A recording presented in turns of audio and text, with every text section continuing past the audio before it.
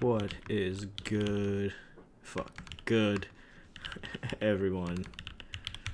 Shoobs here. this is so scuffed.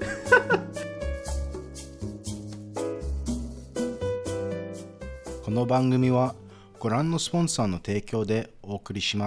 These switches were sent over for a honest review. They will be in stock on Cannon Keys, which I am affiliated with. You can use the link in the description to help me out. What is good everyone? Shoobs here. Today we'll be looking at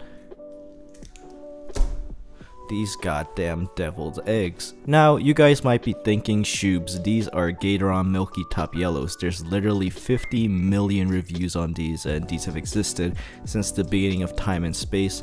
Well, you better take a closer look because they aren't your average Milky Tops. These right here are Milky Top Yellows on goddamn steroids, all juiced up, truly constructed in a abnormal manner.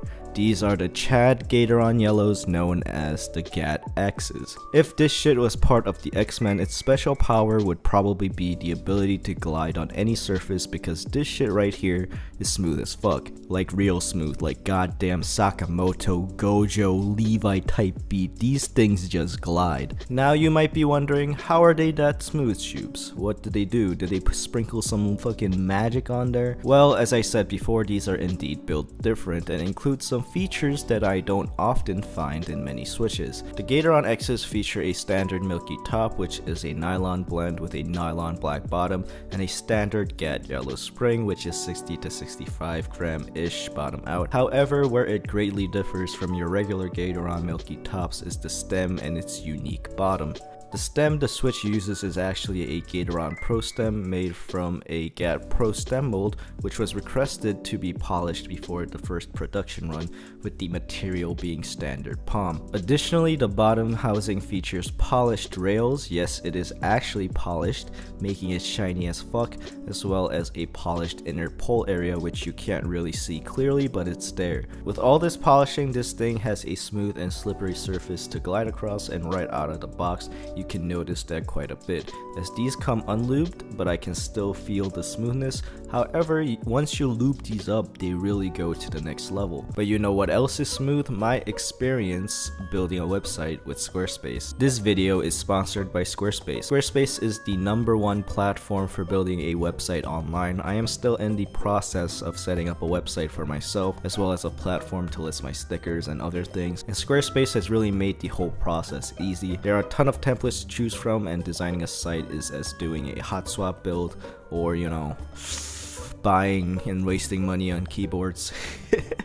Their e-commerce tools let you create listings easily and they offer a wide range of more advanced options for people that know a little bit more as well. If you're looking to make a website, you can use the link in the description for a free trial and you can also use code SHOOBS for 10% off your first purchase of a website or domain. Thank you to Squarespace for sponsoring the video and now back to the review. Anyways, here are the switches we'll be comparing these Gateron X's to as you can see the details on the switch through my scuffed editing skills and uh, yeah. Welcome to another scuffed stem wobble test. We're gonna keep it short. Just try out a few switches from different manufacturers. But please keep in mind that there's switch variants and all that so this isn't very accurate. But the GAT pros are a little bit wobbly. I would recommend filming them the epsilons which is manufactured by jwk a little bit wobbly but decently tight. Alpaca v2s J- jwk as well the same. The zakus are the tightest out of the bunch. Texi switches are very very tight.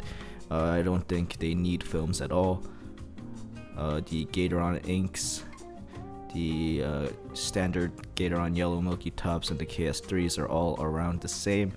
Out of all of these i would recommend filming the zakus or uh, not filming the Tixie switches such as the Zaku's and the JWKs, it's preference, but the Gaterons I would recommend filming. Before we start the sound test, I want to note, like I always do, that the sound test is not very accurate. Just take it with a grain of salt. Everybody's setup, case, uh, room acoustics, desk setup, mic setup, and all that is different. So uh, let's get it started.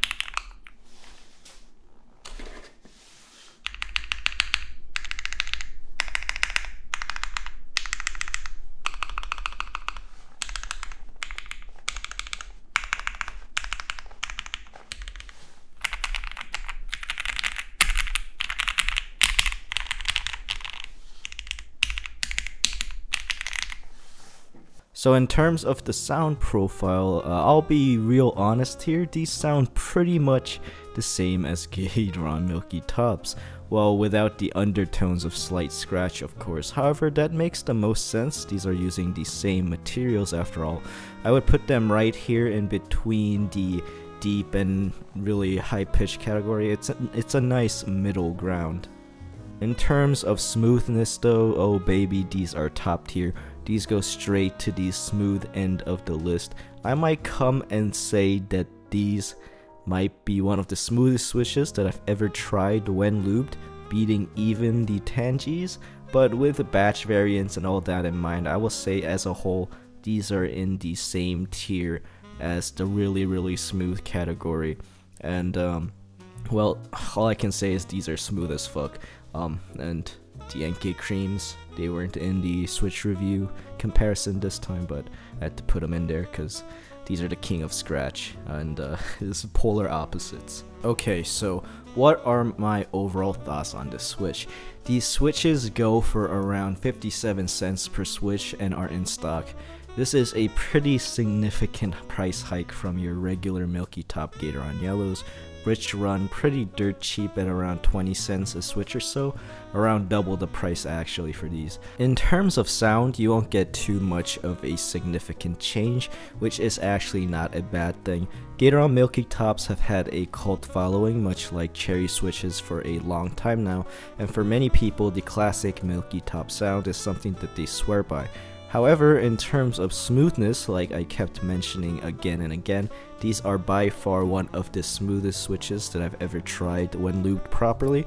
I recommend lubing the rails as well as the stem with a generous, not a generous, but a considerable amount. Um, I would do little by little uh, at a time to and then put it together and check because it takes a little bit of um, trial and error. But once you get it just right, it's it's dead smooth. It's like really really good but um, these are definitely one or if not the smoothest Gateron switches that I've personally laid my hands on. The only other Gateron switch that I've tried that came to this almost level of smoothness and sound was the Tan Gateron Tangy V2s. Uh, shout out to Chippy for sending me over a bunch of Gateron switches for my collection.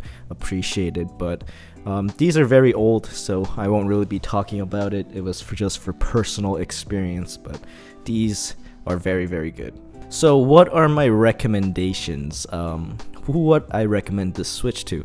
I think this switch is perfect for those Gateron Milky Top yellow enjoyers that really like that sound and want the best possible version of that switch in the market because these are definitely that.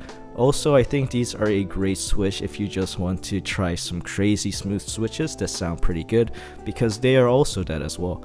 However, if smoothness doesn't matter to you and you just want a cheaper, nice sounding switch and you prefer to break it in to, you know, make it smooth yourself, just your regular Gateron Milky Tops will be what you're looking for. Overall, I think the Gateron X's are a much needed upgrade to the classic Milky Top lineup from Gateron in the best possible way.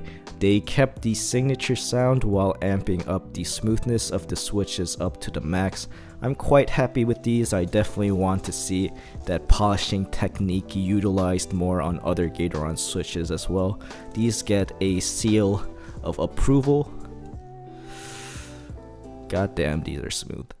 Thank you so much for checking out the video till the end. We hit a 66k I really, really appreciate it. Thank you guys so much. We're growing every day. Um, more Switch reviews, more comedy videos, and more keyboard videos, and yada, yada, yada on the way soon. And I'll catch you guys in the next one.